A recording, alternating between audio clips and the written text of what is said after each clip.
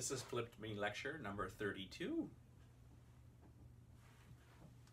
In the last Flip Mini lecture, I showed you that the position of the center of mass is equal to the sum i equals 1 to m of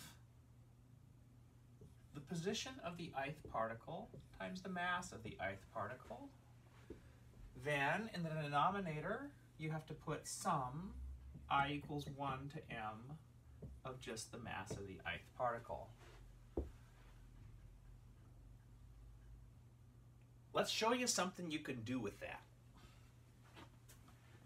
You might like to find the center of mass of a half a plate. So here's a half a plate of radius capital R.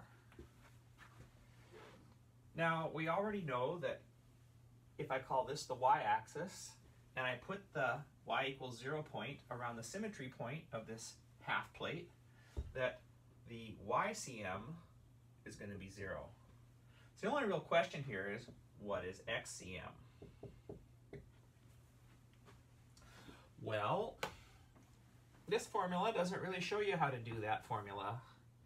You have to understand it differently. Now what I've done over here is I've chopped the plate, the half plate here, up into a bunch of strips let's call this the first strip and the second strip, and then we'll call this the ith strip, dot, dot, dot, and then that one there will be the mth strip. Now, why did I chop this plate up into strips? Well, because each of these strips, the whole strip, has the same x value. So the ith strip has x value of x of i. And the area of the ith strip is however wide the ith strip is, which we can call delta x sub i. And then the only thing we don't know here is, well, how tall is the ith strip? So if we knew how tall was the, the ith strip was, then we know the mass of the ith strip. Because the area of the ith strip is delta x sub i. Let's give the height a name. Let's call it uh, L sub i. So that whole length there is L sub i. Its width is delta x sub i. And this area is some fraction of the total area. And that's going to tell us what fraction of the mass of this plate we have.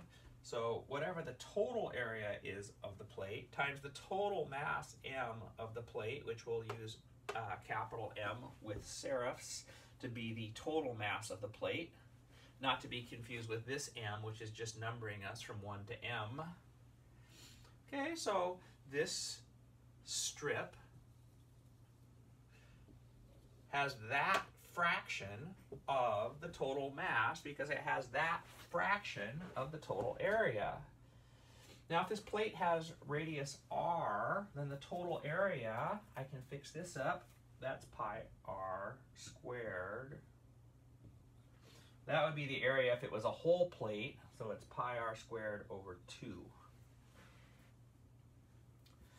And not much else I can do with that.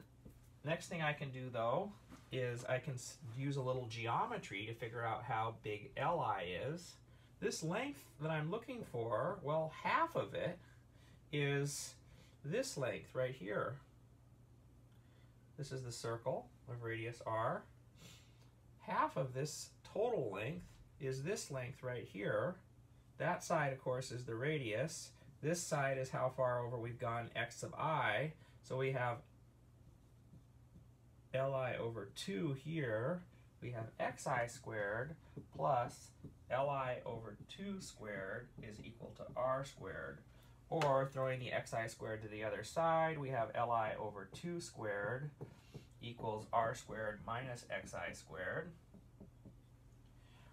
Or that says that li is equal to twice the square root of r squared minus xi squared. So now I even have a formula for li. So I put everything that I knew that was down there up into this formula. There's the width of the ith strip. There's the length of the ith strip. There's the total area of the half plate. There's the total mass of the half plate. Now one thing that's really nice right off the bat here is in the denominator we have sum i equals 0 to m minus 1 of all the strips, met the masses of all the strips, which of course is the total mass of the half plate. So that m cancels with that m. Okay, now this thing here, this is kind of nasty, but it has an interpretation of being a Riemann integral. If you take a func if you take this to be the width of a strip in a Riemann integral and you graph what function this is, the Riemann integral of, okay, so there's the width of the ith strip.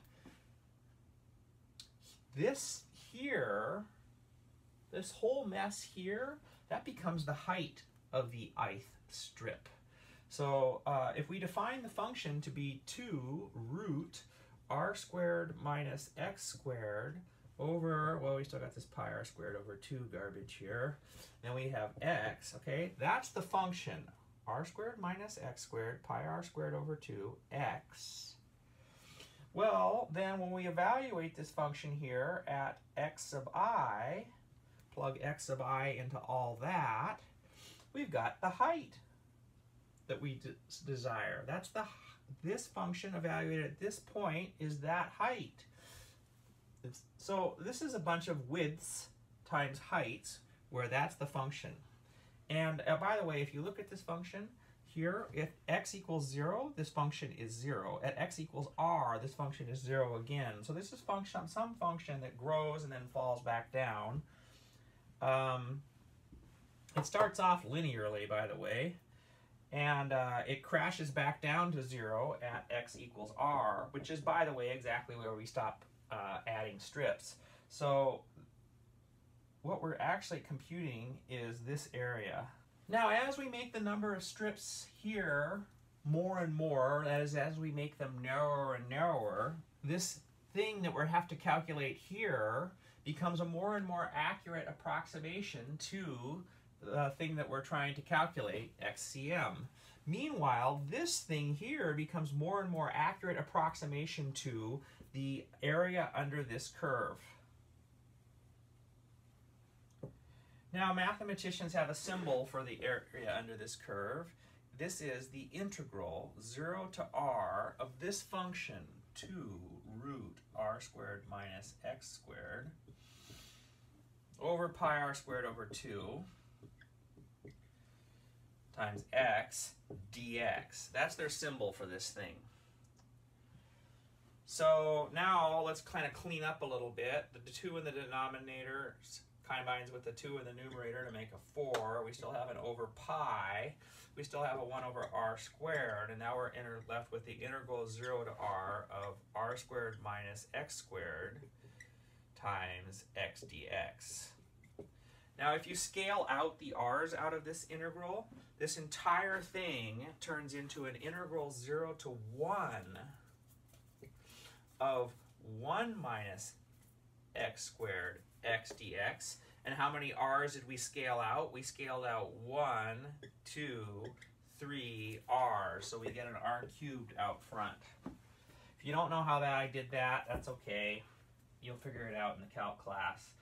Uh, I rescaled the integration. Now what's out front is just a plain old r and I'm left with an integral that I can look up. Well, I have the book in which I look up these integrals. It's Dwight, Tables of Integrals and Mathematical Data. This is integral 351.01 in Dwight. And uh, the indefinite integral is here, and uh, I just need to plug in the upper and lower limit of integration. And the answer is this stinking integral is one third.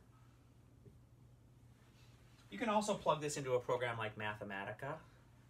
Mathematica Sensei has every last one of these tables built into it, so you don't have to look it up. But there it is. So that's 4 over 3 pi times r. Okay, so we have done it. I just put 4 over 3 pi into my calculator, and I got that it's about 0.42. There's more digits, okay? That's not exact, so I'll say that's about with a squiggly equal sign.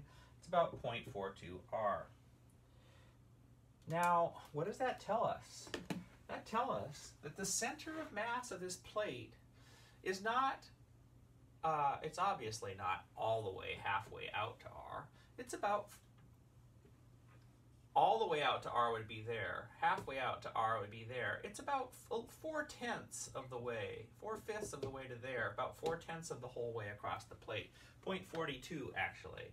So this X value of the center of mass of a half a plate is at about 0.42, 42% of the way to the edge. Well, this was already long, so I'm going to call that 32A. And I'm going to finish the job of what I covered in class on Friday in flipped lecture 32B.